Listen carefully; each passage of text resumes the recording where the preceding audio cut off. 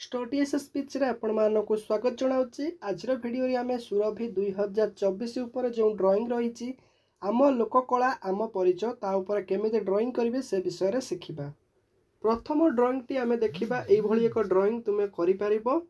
ଯେଉଁଠି ଓଡ଼ିଶାର ମାନଚିତ୍ର ଅଛି ଟିକେ ସୁନ୍ଦର ଭାବେ ଓଡ଼ିଶା ମାନଚିତ୍ର କରିବ ଏବଂ କିଛି ବୃକ୍ଷ ରହିଛି ଜଗନ୍ନାଥଙ୍କ ମନ୍ଦିର ରହିଛି। ଏଠାରେ ଅଶୋକ ଚକ୍ର ଅଛି ଓଡ଼ିଶୀ ନୃତ୍ୟ ଜଣେ ମହିଳା ଓଡ଼ିଶୀ ନୃତ୍ୟ କରୁଛନ୍ତି ତାଙ୍କର ଚିତ୍ର ଏବଂ ଏଠି ଏକ ବାଦ୍ୟ ରହିଛି। ଦୁଇ ଜଣ ନୃତ୍ୟ କରୁଛନ୍ତି। ଏଇଭଳି ଆଉ କିଛି ତମେ ଆଡ଼୍ କରିପାରିବ। ପିପିଲିର ଚାନ୍ଦୁଆ ହଉ ଆଉ କିଛି ନୃତ୍ୟ ହଉ ତମେ ଏଇ ଚିତ୍ର ଭିତରେ ଯଦି ସମୟ ରହୁଛି ଆଡ଼୍ କରିପାରିବ। ନେକ୍ସଟ ଦେଖିବା।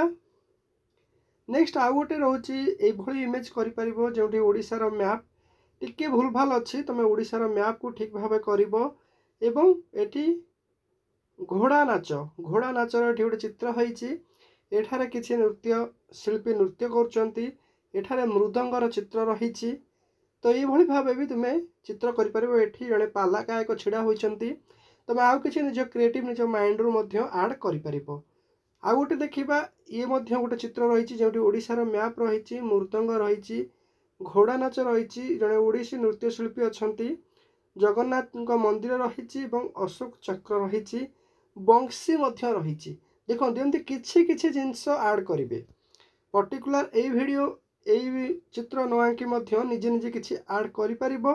ଇଏ ଗୋଟେ ଚିତ୍ର ରହିଛି ଏଠି ଜଗନ୍ନାଥ ମନ୍ଦିର ସୁନ୍ଦର ସୁନେଲି ଗୋଟେ ଆର୍ଟ ରହିଛି। ଓଡ଼ିଶାର ମ୍ୟାପ୍ ରହିଛି ଏବଂ ଜଣେ ଓଡ଼ିଶୀ ନୃତ୍ୟଶିଳ୍ପୀ ଅଛନ୍ତି। ତୁମେ ଆ ଭିତରେ ଏଇ ମ୍ୟାପ୍ ଭିତରେ ଆଉ କିଛି ପିପିଲିର ଚାନ୍ଦୁଆ ହଉ ଗୋଟେ ମୃଦଙ୍ଗ ହଉ ଯେମିତିକି ବଂଶୀବାଦକ ଏମିତି ବହୁତ କିଛି ଜଣେ ପାଲା ଗାୟକ ସମୟ ଅନୁସାରେ ତୁମେ ଯେତିକି ସମୟ ମିଳିବ ତୁମେ ଆଡ଼୍ କରିବ। ଇଏ ଗୋଟେ ଚିତ୍ର ରହିଛି ଏଇ ଚିତ୍ରରେ ତୁମେ ଏଇ ଚିତ୍ରରେ ଗୋଟେ ମଝିରେ ଓଡ଼ିଶାର ମ୍ୟାପ୍ ଏବଂ ଜଗନ୍ନାଥ ସଂସ୍କୃତି ଜଗନ୍ନାଥ ସଂସ୍କୃତିକୁ ସ୍ଥାନିତ କରାଯାଇଛି। ଏପଟେ ଆମର ବୋଇତ ବନ୍ଦାଣ ଉତ୍ସବ ରହିଛି ଏପଟେ ଜଗନ୍ନାଥ ମନ୍ଦିର ରହିଛି ଏପଟେ ମହାପ୍ରସାଦ ରହିଛି ଏବଂ ଏପଟେ ଜଣେ ନୃତ୍ୟଶିଳ୍ପୀଙ୍କର ରହିଛି ଚିତ୍ର। ଇଏ ମଧ୍ୟ ଏକ ସୁନ୍ଦର ଚିତ୍ର ରହିଛି। ତେବେ ପିଲାମାନେ ତୁମମାନଙ୍କୁ କେଉଁ ଚିତ୍ର ଭଲ ଲାଗିଲା ଏବଂ ତୁମେ କେଉଁ ଚିତ୍ର କରିବାକୁ ଇଚ୍ଛୁକ ଅଛ ନିଜର ମତାମତ କମେଣ୍ଟ ବକ୍ସରେ ଜଣାଇବା ସହିତ ଭିଡ଼ିଓକୁ ସାଙ୍ଗସାଥିମାନଙ୍କୁ ସେୟାର କରିଦିଅ।